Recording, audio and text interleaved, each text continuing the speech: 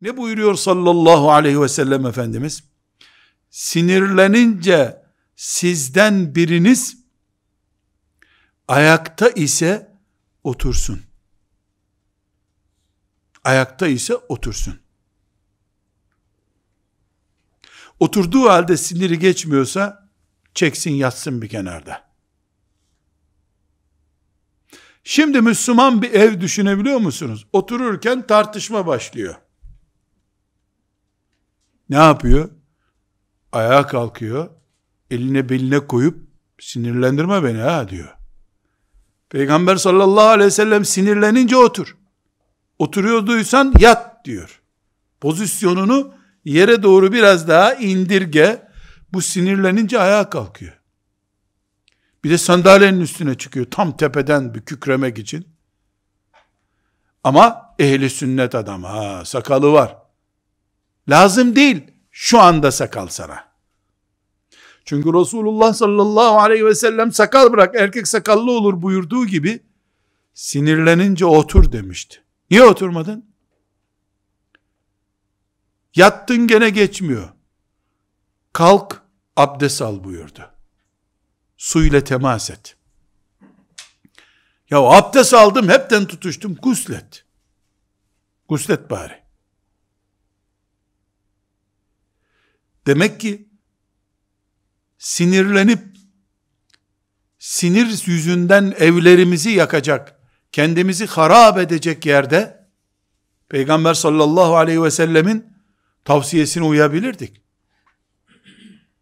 Bana bak sinirlenirsem diye ünlemli cümleler kuracak yerde peygamberimizi hatırlayabilirdik aleyhissalatü vesselam. Delikanlı sinirlenince nefsine hakim olandır diyor. Vurup dağıtan adam değildir diyor. Delikanlıyı tarif ediyor. Kardeşlerim, namaz kılana Resulullah sallallahu aleyhi ve sellem cennet vaat etti mi? Etti. Oruç tutana vaat etti. Hac edene elbette vaat etti. Şimdi kulağımızı açıyoruz. Buyuruyor ki la tagdab ve lekel cennet. Sinirlenme, cennet senin olsun diyor. Ailede, iş yerinde, arkadaşlıkta, yolculukta, piknikte, muhabbette, ders yaparken, arkadaşlarla çay içerken, hac ederken, hac ederken, Arafat'ta, Mina'da, Kabe'yi tavaf ederken, la tagdab ve lekel cennet. Sinirlenmezsen cennet senindir diyor.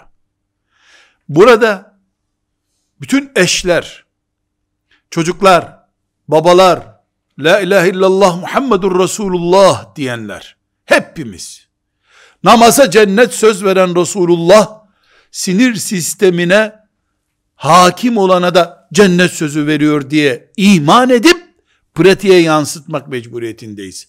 Sallallahu aleyhi ve sellem reklam yapmıyor. Edebiyat yapmıyor. Allah adına konuşuyor. La tegdab ve lekel cennet. Kızma, cennet senin olsun. Sinir küpü olduğun dakikada bile eşine yönelip bu pozisyonla cenneti değiştirmeyeceğim. Boşuna uğraşma. Deyip abdest almaya giden, alnından öpülen cennetlik Müslümansın sen. Haklıysan tabi. Hem haksız hem de cennet bekliyorsan sen cehennemden kurtulduğuna şükret o zaman. Haklısın. Sana göre en azından haklısın. Vicdanın rahat. Buna rağmen la tegdab ve lekel cennet.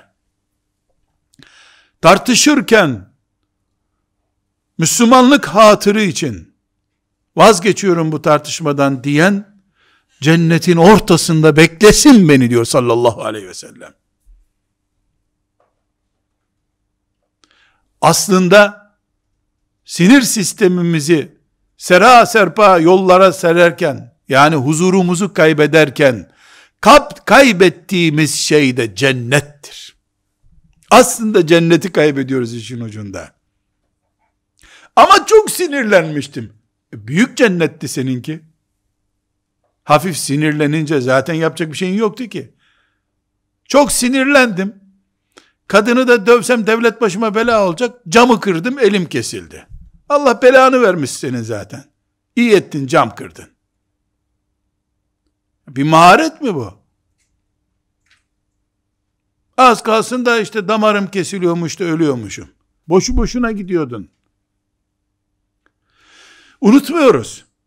Namazı cennet sözü veren Resulullah sallallahu aleyhi ve sellem evinde, iş yerinde, okulunda, medresesinde sinir sistemine hakim olabilene de cennet sözü veriyor. Demek ki bizim abdest alıp kıbleye dönüp Allahu Ekber diye namaz kılmamızla sinir sistemimize hakim olmamız aynı Müslümanlığın kategorisinde bulunuyor. Hiçbir Allah'ın kulu evliyadan ama sinirlenince sövüyor diye kimsenin reklamını yapmasın. Bana evliya hazretlerini sinirlenince getir bir göreyim evliya hazretlerini. Bu neye benziyor? Bu araba müthiş. 200 kilometre basıyor. Otobanda uçuyor. Sadece basınca frenine tutmuyor freni o kadar. Yoksa çok iyi araba. Böyle araba olur mu? Freni tutmayan arabayı ne yapacaksın sen? Ama çok sinirliydim. E, o da çok sürat yapıyor. Çok sürat yapınca senin balatan da güçlü olsun o zaman. Madem çok sürat yapıyorsun, çok da iyi frenin olacak.